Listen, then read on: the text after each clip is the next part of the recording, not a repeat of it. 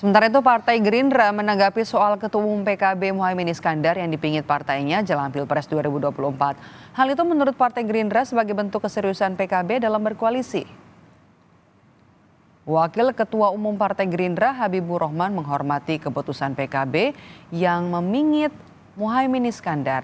Habibur Rahman menyebut sejauh ini komunikasi Prabowo Subianto dengan Caimin lancar dalam menentukan bakal cawapres dan tidak ada istilah desak-mendesak.